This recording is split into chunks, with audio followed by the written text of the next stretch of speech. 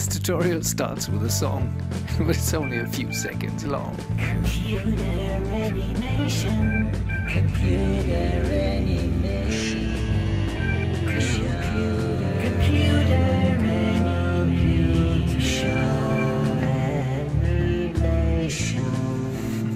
Let's get started with animation. Hi there, this is a tutorial I did in, I think, February 2018 about NURB surfaces and curves. It was watched in the meantime by about 12 or 13,000 people and uh, I feel really honored and at the time when I made this tutorial I thought nobody would be really interested because we're living in a polygon computer animation and modeling world with the computer games such a massive industry and uh, obviously the game engines need polygons and they cannot handle NURB surfaces. But uh, it seems that NURBS is still en vogue and since I come from the NURBS world I'm happy to share a little bit of NURBS modeling now with the attach command. We have three surfaces here and they're very different. This torus, NURBS, all, all NURBS surfaces, you get them in the, they're the blue ones right here, uh, curves and surfaces. This is a torus with a quite decent resolution. This is, let me press F in order to see it, quite a high res uh, plane. And let me press A so I see all. And this is a very simple plane which is tilted to the side. And um, actually I can tilt the torus as well. They have three different shaders, which doesn't matter, it's just for beauty. And uh, I end this tutorial with a little bit of rendering, but uh, this is uh, the rendering is uh, something special really. And I like to render things when I like the shapes actually. So um, when we're here in the modeling menu set, we see surfaces.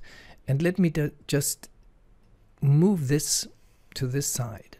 We have an important command for this tutorial, which is reverse direction.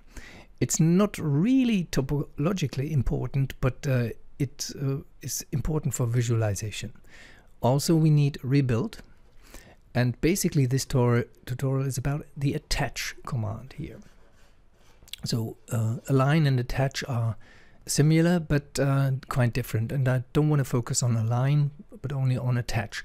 Just to show you briefly align, I select both of them and press align and you see that we have quite a nice surface here, a new surface, but actually in the outline you see that we have only the old surfaces.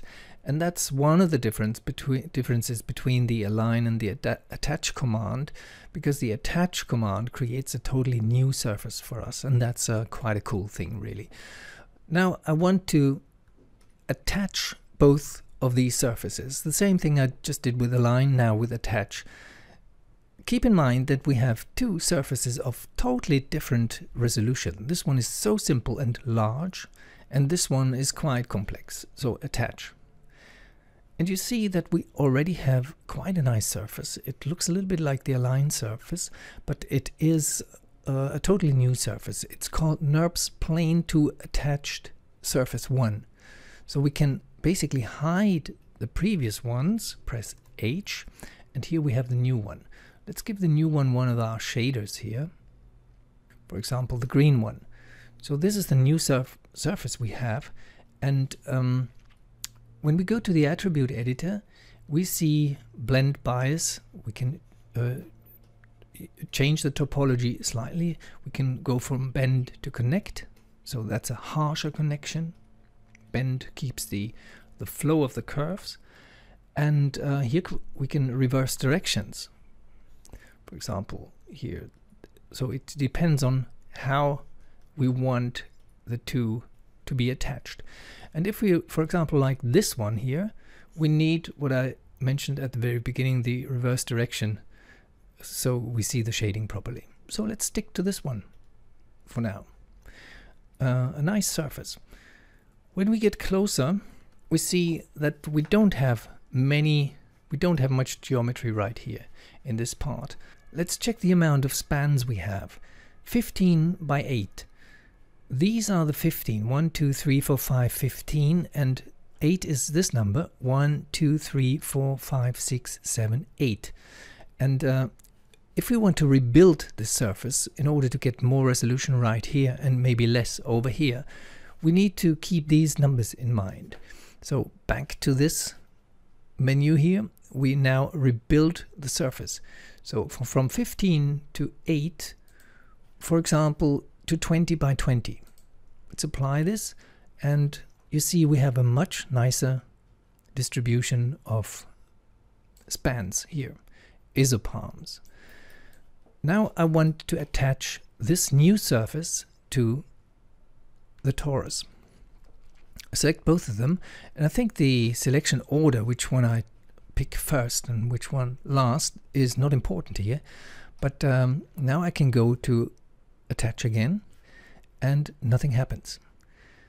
But we do have a NURBS plane 2 attached surface, one attached. So it's a double attachment. So it's somewhere there. The node is already there, but we can't see the new surface. That's because Maya does not really know how we mean this kind of attachment. And we need to help Maya in order to get this right so that we can see the attachment. So we go to the NURBS torus shape and for example here you have the start sweep and the end sweep and you here you have the minor sweep. It's uh, basically it opens the torus from the from the horizontal side and uh, we can reduce this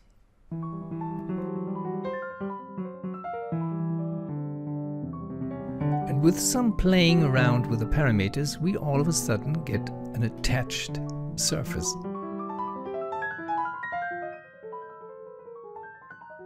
Let's stick to this now and hide the torus and the previous surface, H. So this is the new surface now. We can, of course, give it a nice material, the blue one. Now, is this an intact NURBS surface? It sure is. If you want to convert it to a polygon in order to use it in a, in a mesh world, you can, of course, but before you do that, I would recommend you to rebuild it. Currently, it has 32 by 38 spans, so it's quite intense. Maybe we can rebuild it using our 20 by 20 measures which I just did.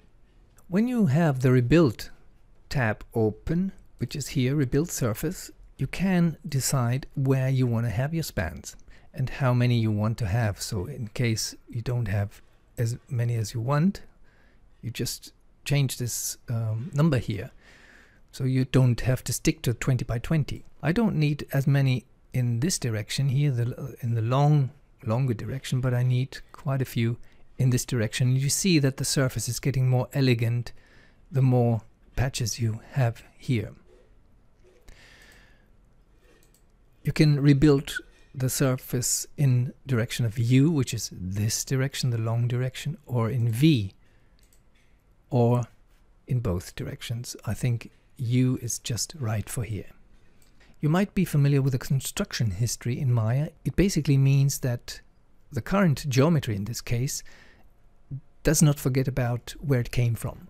So for example, when we go back to the torus and un unhide it, uh, that's Shift H, the torus, this is the torus here. Let me change the color. When we change that torus, for example, its position, the surface adopts accordingly.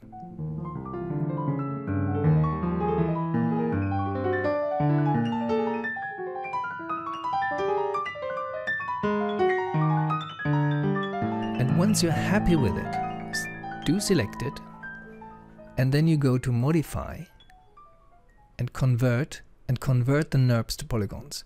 Use the option box because the default settings are, let me show you, set to triangles, but this you can already see it's quads here, it's not triangle geometry. So check quads here and apply it and then you have a polygon surface which uh, is called NURBS to Poly 1. And when you put it to the side or lower down, it resembles the original NURBS surface, it's just not as elegant from the flow of curves. And that depends on how you convert it. You can convert it with as many faces and patches as you like. And now, time for rendering this and some other objects I tried out. Have a nice day. Bye bye.